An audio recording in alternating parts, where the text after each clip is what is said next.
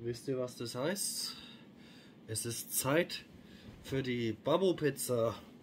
Jawohl, ihr habt es richtig gehört. Steve's Game Kitchen am Start.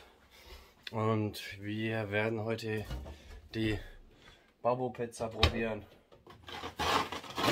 Seid auf jeden Fall gespannt. Und ja, bis gleich. Auf jeden Fall Babu Pizza. Leider heute nur auf jeden Fall Babu Pizza am Start. Wie ihr ja wisst, gibt es ja zwei Sorten und ähm, ja, es gibt eins mit einem roten Logo, was ich jetzt gerade hier habe, und eins mit einem gelben Logo. Ich wollte eigentlich zwei Stück kaufen, aber ich hatte keinen Platz mehr in meinem Tiefkühler gehabt, da ich ja schon andere Pizzen da habe. Ja, ich ernähre mich nur durch Pizzen. Ähm, ja, auf jeden Fall sieht so aus. Ja, es hat jetzt hier schon ein bisschen ähm, Wasserflecken drauf bekommen. Aber das macht ja nichts. Also, die ist auch von Gangsterella, wie die Capital Bra Pizza. Sie besteht aus Rindersalami, Käsemix, Käsesoße und eingebackener Tomatensauce. Nettogewicht 402 Gramm, dünn und knusprig, okay. Und ja, da ist Haftbefehl. Sieht schon mal ziemlich cool aus. Und auf jeden Fall hier hungrig und stur. Babo Pizza. Ansonsten gibt es hier noch so eine kleine Comicfigur. Das finde ich auch ganz cool gemacht. Hier so abends im Studio. Ich will den Geschmack von 069 auf eine Pizza bringen.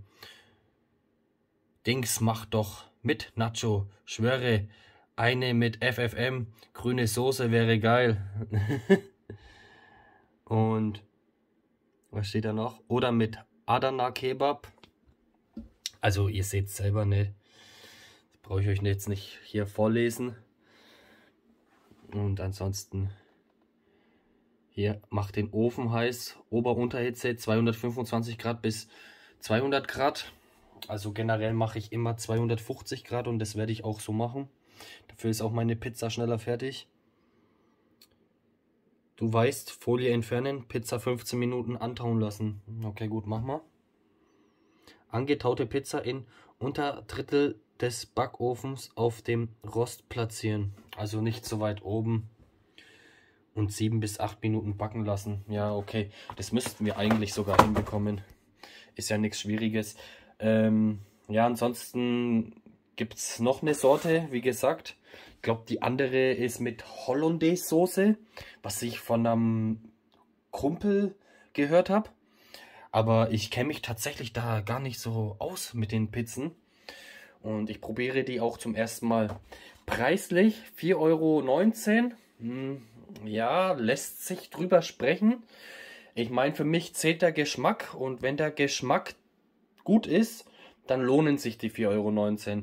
Wenn es jetzt tatsächlich nicht der Fall ist, dann sage ich ja, ey, holt euch lieber eine normale Pizza, ja. Für einen billigeren Preis. Aber naja, gut. Das werden wir jetzt dann sehen. Okay, also. Wir öffnen die Pizza jetzt. Also gut, genug geredet. Jetzt öffnen wir die Pizza also vorsichtig. So.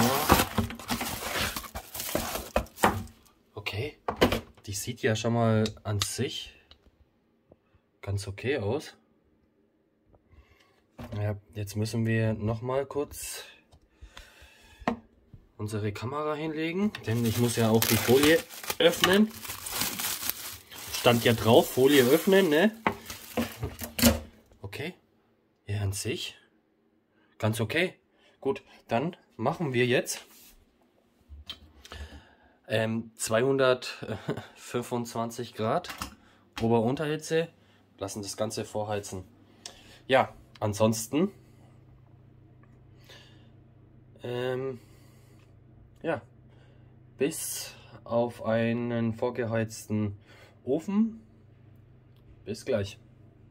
So, und wenn euer Ofen vorgeheizt ist, nimmt ihr die Pizza da, da, da, und haut sie da rein. Ja. Und dann machen wir einen Probiertest. Okay, meine Freunde, Pizza rausgeholt, fertig. Die geht echt ziemlich schnell. Und naja gut, ich hatte sie auch auf 250 Grad gehabt, dann geht sie noch schneller. Und so sieht die aus. Und ey, ich muss sagen, die sieht echt gut aus. So, jetzt muss die Pizza nur noch schmecken. Und dann bin ich schon zufrieden. Also gut, dann machen wir jetzt einen Probiertest. Okay, Probiertest. Bestimmt wird die jetzt doch voll übelst heiß sein. Also hier die Haftbefehl-Pizza. Mm.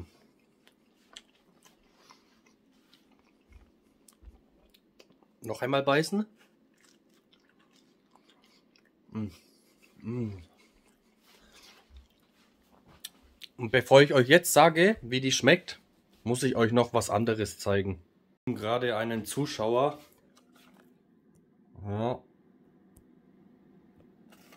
Und der hat auch ziemlich Hunger. Ja, genau. Und jetzt sage ich euch, wie die Pizza schmeckt. Also ohne Scheiß, für 4,19 Euro oder 4,20 Euro, wie auch immer, schmeckt die Pizza echt gut.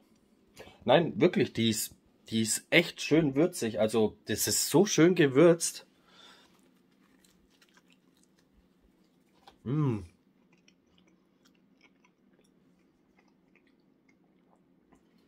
Man, man sieht auch, dass da so Spezialgewürze Gewürze drauf sind. Ne? Also, das ist ja echt. Mm. Mm. Also diese Pizza lohnt sich zu holen, tatsächlich. Käse schmeckt würzig, Tomatensoße schmeckt würzig. Die Gewürze sind drauf. Mm. Die Pizza sieht einfach schick aus. Ja. Die, die ist ähm, weich, äh, äh innen drin weich, der Teig, und außen der Teig ist schön knusprig, nicht zu knusprig, nicht zu schwarz, ja. Mein gut, es kommt auch drauf an, wie die die macht, ja. Aber es steht alles drin.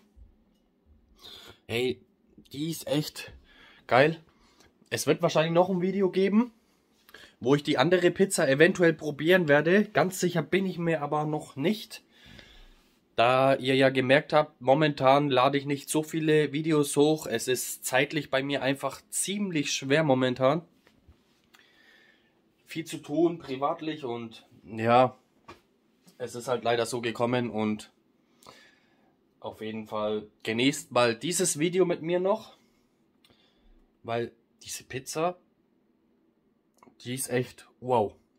Also so eine schöne würzige Pizza, dafür, dass man die ähm, in einem Laden kauft, halt tiefgekühlt auch noch, die nicht so frisch gemacht ist, ist die echt würzig und gut. Und die hat, ähm, sagen wir mal, es gibt fünf Sterne. Die hat auf jeden Fall viereinhalb Sterne von mir bekommen. Hm. Hm.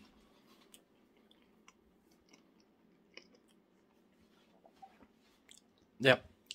Diese Pizza hat mich äh, überzeugt. Entschuldigung, hat mich wieder versprochen. Und ja. Ich hoffe, ansonsten hat euch das Video gefallen. Abonnieren, liken, disliken natürlich, wem es nicht gefallen hat. Geht auch. Ähm, abonnieren kostet nichts. Noch nicht. ja, genau. Hier auf meinem YouTube-Kanal Steve's Game Kitchen. Und ansonsten auch Steve's Game Kitchen auf meinem mittlerweile TikTok-Account. Und ja.